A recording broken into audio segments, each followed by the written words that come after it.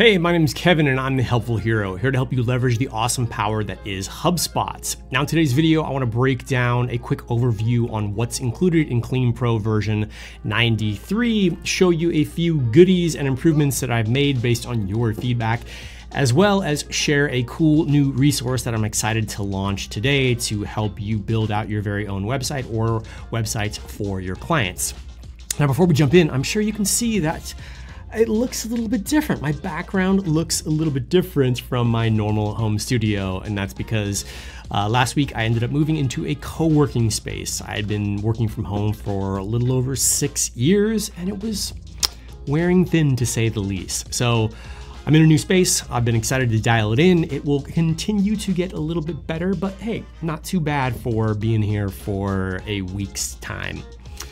Now let's go ahead and jump in. I'll show you a few goodies as well as sh um, share a few fun facts that you might not know about me to keep this demo, that you want to call it that, a little bit more exciting. So let's go ahead and pop straight in and um, we can talk a little bit about this. The first thing that um, I included in this update based on some feedback was the ability to actually utilize two or multiple FlexiTab um, modules, which is becoming very popular in the Clean Pro theme. So if you want to create multiple section with this tab structure, now you can. Uh, along with that, here's some fun facts about me. First, my favorite comedy, which I can literally watch over and over and over again, has got to be Napoleon Dynamite. I don't know. It's just it's just my kind of humor. It's so stupid and silly, but I can't get enough, and I wish I could do that dance. Um, speaking of dancing, uh, I actually used to be a club DJ for about 12 years, and let me tell you, there is absolutely nothing like getting paid to play your favorite music for your friends who are dancing. it's like best times of my life. Um, along with that, one of my guilty pleasures. I'm not a big fast food guy, but let me tell you, if I have any fast food and I drive by an In-N-Out, I'm stopping. I'm getting a double double. I might even get two. it's one of those guilty pleasures that just if you haven't had it, you might not know. But if you're ever in California or any place and, and see In-N-Out, I'm a little biased, but you got to grab one.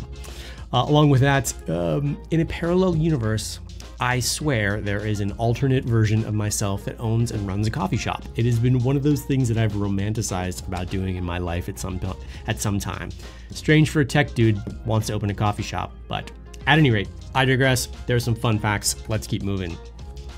Uh, the next improvement is to the video gallery module. Now, one of the common requests that I got was wanting to be able to center any of the videos that show up, especially if you have a scenario like this where you have maybe one, two, or even three down on, on a row, leaving an empty space. Well, now you're gonna be able to just click in and center that, and I'll show you how to do that in just a moment. Another uh, popular request is being able to actually change the position of this return to top little icon right down here in the global footer, which now you can do, and I'll quickly show you how to do that as well. So if we jump over here to the page editor, and we'll take a quick look at the video gallery module. Under the styles tab and a video card, now you have this little toggle where you can turn on center the video cards so that as we take a look at this, now they're centered. Likewise, if we go down to the global footer module and look under the start here menu as well, let's just open this up. You'll see right where you can turn on or off the return to top icon, you now have the option to, switch its position to the right or left so that if you have, say, a chat widget or an accessibility icon or something like that, um, you can actually there it is. Well, it's hidden by this chat. Well, hence why you might want to be able to control the positions. So let's just get out of here. Now there's a handful of other improvements that I'm going to list in the release notes, um, which is going to be a link in the description if you're here on YouTube watching this video. I highly encourage you to look through that because there's a handful of other improvements which were, quite frankly, maybe a little bit more on the boring side or just quick fixes, but still very important for you to be aware of.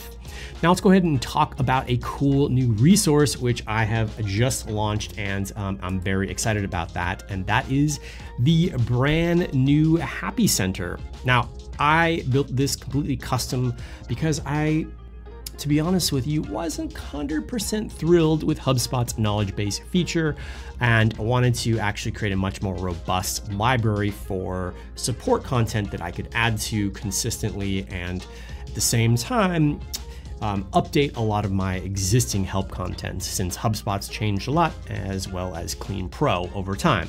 So now, just like um, you would, you can come in here, you can search as you would normally um, expect.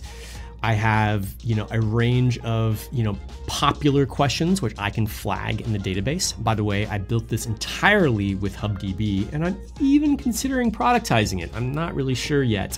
Um, it would be an add-on product um, outside of Clean Pro since HubDB modules cannot be included in marketplace themes. There's another fun fact for you.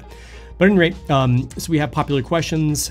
There's going to be a ton of um, you know main categories that you can start to look through. Again, this is following suit with a lot of the ways in which I categorize my older or current help center. Um, Additionally, you can go into more of the advanced filters. So if you wanted to say find something about getting started, um, you can just come in here, click that.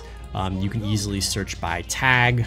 Um, these are all of you know some of the existing tags that I have set up. Um, or you can even see which of these tutorials actually include a video tutorial. And so there's gonna be a little flag up here so you can very easily get to the content that you need. So you were to click into one of these, it's basically going to look like this. Well, that one's not a real entertaining one. Let's see if I can go into something like this. How to clear a thing. Hey, look at that. That's got a video and then it's got a lot of the um, steps. So one of the big initiatives that I'm doing is not only creating video content, which is helpful for some people, but also having um, helpful text and image content below so that you get the best of all worlds. On top of that, I'm adding all of that to Awesome AI so that if there is a question that you want to dig in a little bit deeper, well, there you go. You got my Awesome AI there. I am doing my very best to be able to get you answers as quick as possible here within um, this new resource center. But of course, you can always, if you can't find something there, um, reach out to me so I can get you unblocked and moving forward as fast as humanly possible. And that's what I got for you in this update. Um, I'm working hard this year to make Clean even better and better and better. Um, again, very much based on your feedback. So keep it coming. I appreciate you and thank you so much for your continued supports. With that, I'm out and I'll catch you in the next one. Later.